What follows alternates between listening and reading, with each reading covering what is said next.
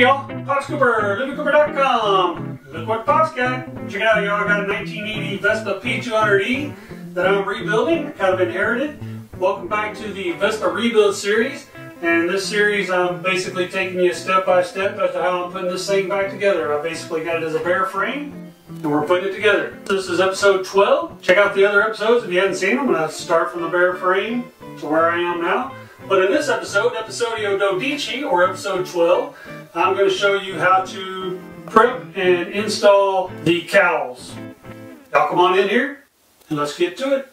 Let's get moving, uh, putting together one of these fenders. I'll show you how to do one of them and then I'll do the other one on my own. So we're going to do this fender or cowl, I guess if you will. So what we're going to do is we're going to be putting in the turn signal and then we're going to be putting this little rubber grommet on this peg here. We're going to clean this peg up. That peg right there is where the contact for the turn signal goes.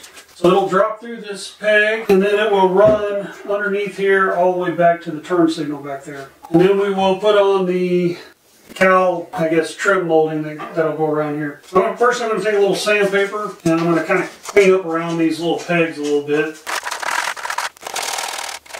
And I'm cleaning up around these pegs because on this end, they have to sit inside of a little tube, and that little tube only so big, so we got to clean that up some so that it will go in there, slide in and out, and make contact. Okay, let's put on our little rubber piece on this end. Okay, so we kind of get this almost all the way on. It got a little flare on the end of this peg, and the rubber should be actually down below that. I'm going to put a little lube on it, a little silicone lube on it, and see if I can get it down a little farther. I think I got it on as best I can. It's uh, not down below that flare. I might have to cut some off. That may be a little bit too long. I don't know. Whenever I try to fit this on the bike, if it'll go in, I won't worry about it. If it won't go in, then I'll probably have to trim that off a little bit. Alright, so that's that piece. Let's uh, see if we can drop in our contact for the turn signal. Here's the contact for the turn signal right there. That's the little contact piece and the little connector drops in through the hole this way. And I might have to put the Dremel on that because they got some paint in this thing. So I'm going to have to bring that out. So I got a little Dremel bit that'll fit in there to kind of bring that out. Alright, so I got the Dremel hooked up. So we just kind of want to make sure we kind of slow this down. We don't need to go too fast. Kind of clean this out just a little bit.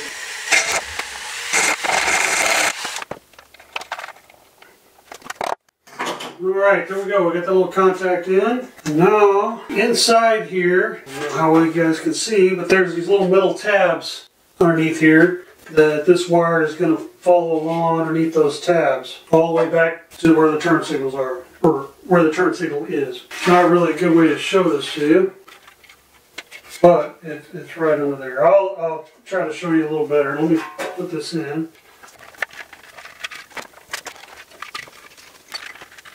Alright, so we drop the wire in with the contact.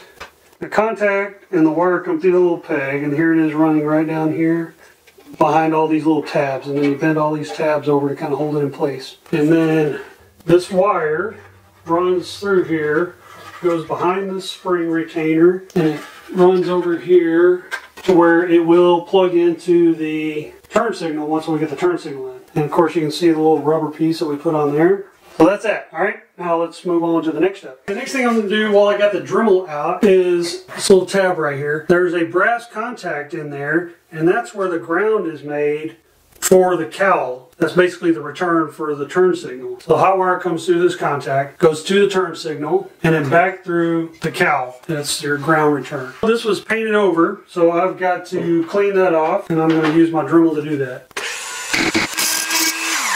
Well, this is interesting because there's supposed to be a like a brass contact piece right in here. And apparently something happened and this one does not have it. So I'm not sure what I'm going to do about that. Hopefully just the bare steel will be enough to make that contact that I need. I'm not sure how I'm going to address that. We'll see when I put it together if it works. If not, then I'll have to figure something out. Okay, so that's one, one thing we want to do right there. We have the Dremel out. And the other piece is inside here, this hole right here, screw hole right here, where the turn signal bolts in, that makes the contact for the ground of the turn signal. So we need to clean that off so that we get good metal to metal contact as well. Okay, hopefully that'll give me some good metal to metal contact uh, there. So I've got that cleaned up because there's a spider washer on the bolt that holds that, or the nut that holds that turn signal in. Okay, so that's it for the Dremel. Now we're going to put on this cowl seal. So this side smashes up against the body of the bike. This piece goes around the cowl. What the Vespa Motorsport guys that I always refer back to, they cut a slice in this so that it will go over this peg. So it'll run from here all the way around this top edge all the way around the bottom. On the bottom right here is a hole that we're going to drill a hole in our rubber seal and pop a rivet in there. They do that so that it will help it stay on once you get it all together. All right, so let's see if we can if we can figure this out. I think I'm going to do mine a little different than they did theirs. I think I'm going to cut a little notch out. I know they cut a they cut a slit in theirs, but I think I'm just going to cut a little notch out of there. And we'll kind of measure this where it's going to go. It's going to go to right here. It's going to go to there. Alright, so I got a little notch cut. Now let's see if we can get this around here. Might have to trim it just a little more. Alright, cut off this little tail right here. There we go. There's the cowl gasket. We're just going to put on the turn signal. So here's the turn signal. It goes on this side. Now, if you look on here, I did not replace these foam gaskets in the back of this, and this little hole is on the bottom, so it's not like water's going to get in there. All right, so this goes in here, like so. The lens on in a minute. I had to buy a couple of bolts and spider washers for this. So this is an M4, you know, it's about half an inch, and it's an M4. So I'm just going to put this one in, kind of help hold it in place. Okay, so that, that's kind of in. Let's flip it over and see if I can show you guys where it connects. All right, so here it is right here. So it's in. Put our nut on. And we're not going to wrench it down yet because if you see how this has play in it, so that we can suck it up this direction first. So we want to put our nut and spider washer back on this side where it comes in underneath there. Okay, I got a socket for this, and that's a 7 millimeter socket. That's quarter inch drive uh, ratchet with an extension so that I can get in here and tighten this up. Alright, there's that one. Now we'll come back and tighten this one up. Just like that. Now we'll plug in our lamp, the male side and the female side of the connector. Just like that. And we'll put our sheathing back over that, kind of give a little protection. There we go. So now that's over. And then what I'll do is I'll get a little tie wrap and tie wrap this up in here. Just like that. Okay, there you go. And I got the bulb in there and I got an LED replacement bulb. Now let's see if we can put this lens cover on. And the lens cover gasket of course was pretty bad. So, so we got replacements for this. We'll just see if we can get these in. Actually, I think I got it the wrong way. I think it goes this direction. We'll put the lens on, like that.